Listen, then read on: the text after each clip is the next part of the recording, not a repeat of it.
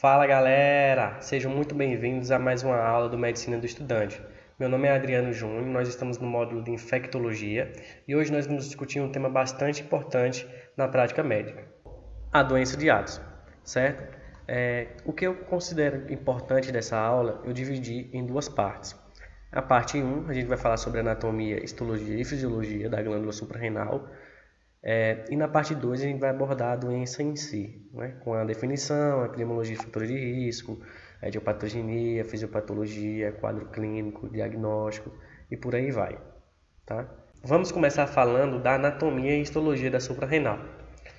Bom, as glândulas suprarrenais, né, elas ocorrem em pares, certo? E são localizadas no espaço retroperitoneal da cavidade abdominal. Elas se localizam no polo superior dos nossos rins e recebem uma vascularização bastante intensa. Como nós podemos perceber nesta imagem, a nossa glândula suprarrenal, ou adrenal, também conhecida, é, ela é dividida em algumas partes, em algumas regiões. Mais externamente, nós temos uma cápsula de tecido conjuntivo. Essa cápsula emite trabéculas para o parênquima dessa glândula e que por esses parênquimas passam vasos sanguíneos é, bastante importantes para a função dessa glândula, que basicamente é secretar diversos hormônios, como a gente vai ver. A nossa glândula ela é dividida em duas regiões principais, que seria o córtex e a medula. O córtex ele vai corresponder a 80% dessa porção, enquanto a medula vai corresponder a 20%. Nós percebemos também que o córtex ele está sob controle do eixo hipotálamo adenohipófise, tá? Mais para frente a gente vai discutir mais sobre isso na fisiologia. Enquanto que a parte da medula está sob controle do sistema nervoso simpático, é, mais precisamente, certo? É, o córtex ele é dividido em três regiões principais, como a gente pode ver aqui nessa imagem, tá? A zona glomerulosa, produtora de aldosterona, importante no nosso equilíbrio hidroeletrolítico, certo? A zona fasciculada, produtora de cortisol, importante no nosso metabolismo, principalmente dos carboidratos, como a gente vai ver. E a zona reticulada, produtora dos, dos androgênios. Aqui a gente vai dar enfoque principalmente no, na zona fasciculada. Ela é importante por quê? Porque ela vai produzir os glicorticoides, representado pela corticosterona e pelo cortisol. Basicamente, qual é a função do cortisol no nosso metabolismo? Ele ajuda no metabolismo do carboidrato, tendo um efeito catabólico e hiperglicemiante. Ele vai nos proteger de uma hipoglicemia, aumentando a degradação de proteínas nos nossos músculos, aumentando a lipólise, para quê? Para fornecer ao nosso fígado substrato para a produção de glicose, ou seja, a gliconeogênese. Além disso, ele vai permitir também o armazenamento dessa glicose no nosso fígado. Em relação ao cortisol, a gente também tem outro ponto importante que seria a resposta ao estresse. É, o estresse ele acaba estimulando o nosso hipotálamo a produzir o CRH. O CRH ele vai acabar estimulando a nossa hipófise a liberar, a liberar o ACTH, tá? o hormônio adenocorticotrófico. Vai agir na glândula adrenal para a liberação de cortisol. Tá? Então o estresse ele atua aqui como um papel importante na liberação de cortisol, certo? A gente sabe que o cortisol ele tem um efeito permissivo. O que seria esse efeito permissivo? Nós percebemos, por exemplo, que diante de uma resposta a uma infecção ou algo do tipo, é, que tende a diminuir a pressão arterial e promover a vasodilatação, o nosso corpo reage liberando catecolaminas, ou seja, adrenalina, tá? E esse, essa adrenalina precisa agir nos nossos receptores, no coração, nos vasos, para aumentar essa pressão arterial.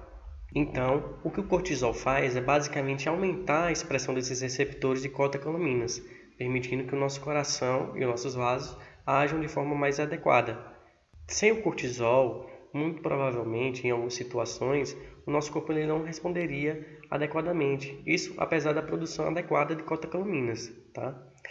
É, por isso, alguns pacientes com choque séptico, por exemplo, eles necessitam, além da reposição volêmica, da administração de glicorticoides, justamente para auxiliar nessa, nessa função, nesse efeito permissível.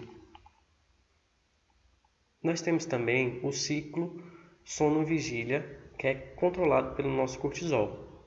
Esse gráfico ele ilustra muito bem o que acontece, o que acontece no nosso organismo. Basicamente, a gente tem um aumento né, do, do, da quantidade de cortisol nas primeiras horas da manhã, por volta de 8 horas, e uma diminuição logo antes da pessoa dormir, tá? Isso é justamente para regular o ciclo circadiano. E esse ritmo circadiano é importante justamente para a gente pedir alguns exames, né, contagem de cortisol, entendendo a quantidade que esse cortisol tem no nosso organismo em determinados períodos do dia. Então agora vamos falar da doença de Addis propriamente dita. A gente começa definindo essa doença como uma condição ou um distúrbio que afeta as glândulas adrenais, causando a produção diminuída dos hormônios adrenocorticais. Isso né, devido a um processo destrutivo que vai afetar diretamente as glândulas, ou então por uma condição que vai interferir na síntese hormonal. É importante a gente perceber que ela só vai se manifestar quando 90% do córtex for destruído. Ela pode ser aguda ou crônica. A forma aguda é representada principalmente pela crise adrenal, tá? E é uma condição que pode levar o paciente à morte. Então a gente precisa fazer um monitoramento e ter cuidado. Em relação à epidemiologia, a gente percebe que as taxas mundiais variam em torno de 4,7 a 6,2 por milhão de indivíduos ao ano. Tá? É uma doença mais encontrada nas mulheres, né, na proporção de 2,6 mulheres para cada homem, e diagnosticada entre os 20 e 40 anos. É um diagnóstico um pouco complicado porque os sintomas eles podem ser inespecíficos. Né? Em relação à insuficiência adrenal, nós sabemos que ela pode ter é, a causa primária, que basicamente é a, é doença de Addison, ou a causa secundária. Mas em relação à suficiência adrenal em si, a causa secundária é mais comum, ou seja, quando a gente tem um envolvimento né, hipotalâmico ou hipofisário que acaba prejudicando a produção do hormônio ACTH. E quais são os fatores de risco? Começando com o sexo feminino. Mais de 90% das pacientes que têm doença de Addison são do sexo feminino. Hemorragia adrenal, seja por eventos tromboembólicos ou estados hipercoaguláveis como a síndrome antifosfolipídica e a própria sepse também. Temos também as doenças autoimunes, seja diabetes mellitus tipo 1, artrite reumatoide ou qualquer outra condição, aumenta o risco desse paciente ter a doença de Addison. Temos a tuberculose, certo? A gente vai discutir mais nos fatores etiológicos, mas ela é uma grande responsável pela doença de Addison. O vírus da imunodeficiência humana também, devido às infecções oportunistas, seja por citomegalovírus ou criptocorcose, por exemplo. E temos medicamentos que inibem a produção de cortisol. A gente vai discutir mais daqui a pouco. E doença maligna metastática. Em relação à etiologia, nós podemos perceber que no século passado, nos Estados Unidos, por exemplo, a tuberculose era a causa mais frequente. Só que hoje, cerca de 80 a 90% dos casos são por disfunção do sistema autoimune, representado pela adrenalite autoimune, principalmente. Mas a maioria dos, dos casos restantes ainda é devido à tuberculose. Como a gente pode perceber, no Brasil ela é a principal causa. Na verdade, ela é a principal causa nos países onde a tuberculose é endêmica. Nós temos doenças infecciosas, então doenças fúngicas como a paracoccidioidomicose, a histoplasmose e outras doenças também podem levar à doença de Addison. Doenças malignas e metastáticas, como câncer de pulmão, melanoma, entre outros, acabam infiltrando células no tecido da adrenal e ocasiona a doença. Temos também um infarto hemorrágico da adrenal, o uso de alguns medicamentos como etomidato, cetoconazol, suramina, e condições que interferem na síntese do cortisol, como a hiperplasia adrenal congênita. Cerca de 50 a 60% dos pacientes eles podem ter a doença de Addison associada a outros distúrbios endócrinos ou também não endócrinos, certo? Então, principalmente aí a gente vai ter a síndrome poliglandular autoimune de vários tipos, né? Isso é assunto para uma outra aula. Em relação à fisiopatologia, nós vamos perceber que a doença ela pode surgir devido à destruição das três camadas da adrenal, certo? Devido à ação dos linfócitos citotóxicos e também devido e também devido à interrupção da síntese hormonal devido a anticorpos contra os receptores de ACTH. E o quadro clínico? Como você acha que poderia ser, tendo em vista toda aquela fisiologia da suprarrenal que eu citei anteriormente?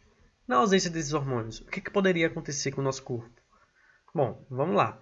os sintomas eles vão refletir justamente a deficiência desses hormônios. Na ausência de glicorticoides, por exemplo, o que, que o paciente pode ter? Astenia, então aquela sensação de fraqueza, perda de peso e anorexia, náuseas e vômitos podem ocorrer na maioria dos pacientes, e hipotensão arterial.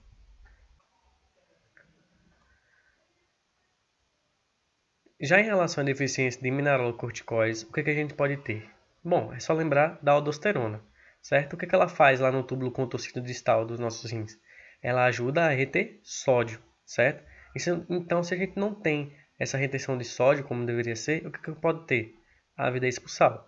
Então, o paciente está precisando de sal, então ele vai buscar sal, tá? Além disso, hipovolemia. Claro, se não tem sal, o paciente não retém líquido, tá? E aí é o que acontece? A hipotensão, consequente a hipovolemia, e hiponatremia, ou seja, a própria ausência do sódio.